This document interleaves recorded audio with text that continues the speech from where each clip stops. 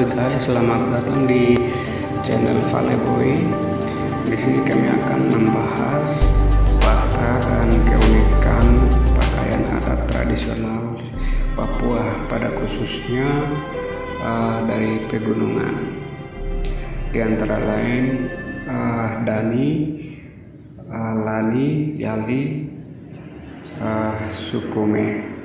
Koteka pada dasarnya adalah pakaian adat untuk uh, menutup kemaluan seperti pakaian pada umumnya.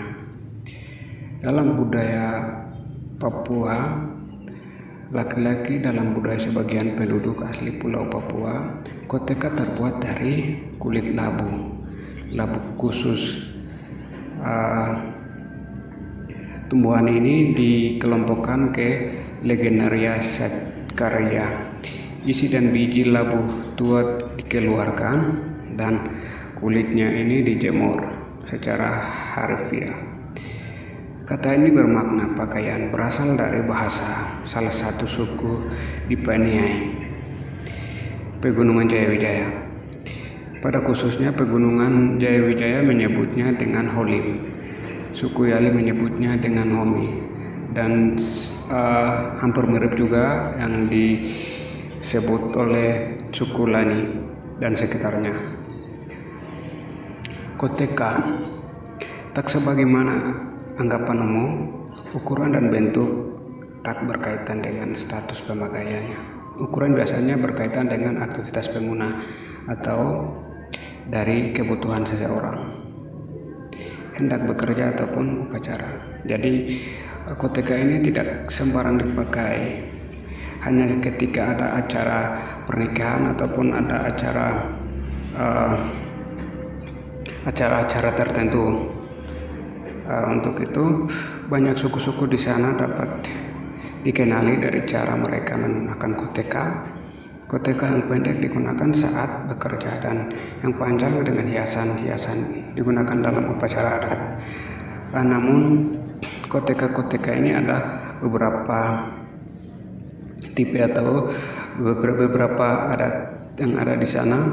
Dari sisi suku dibedakan atas dasar uh, bentuk kotekanya misalkan suku Lani kotekanya agak besar dan pendek. Sedangkan suku Dani kotekanya panjang memanjang.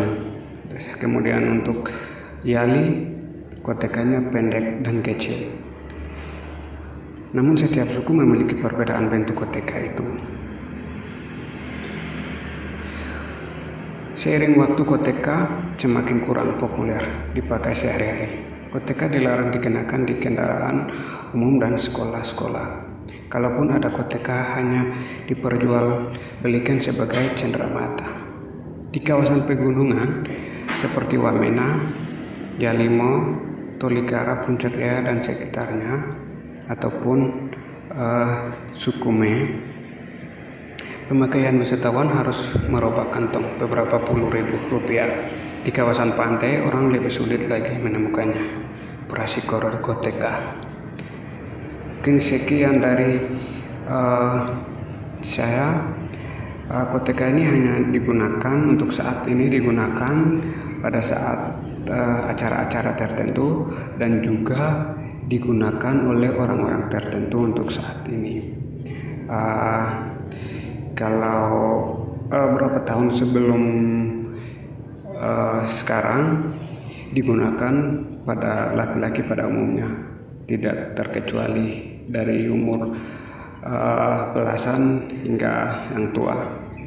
Namun untuk saat ini uh, hanya digunakan oleh beberapa orang uh, sebagai tradisi dan uh, sebagai cenderamata wisatawan. Uh, mungkin begitu penjelasan terkait uh, koteka, uh, ciri khas pakaian dari Papua pada khususnya pegunungan. Uh, seperti itu. Jangan kawan-kawan jangan lupa like, subscribe. Uh, share biar informasi-informasi menarik lainnya yang terus berkembang dari channel ini. Terima kasih.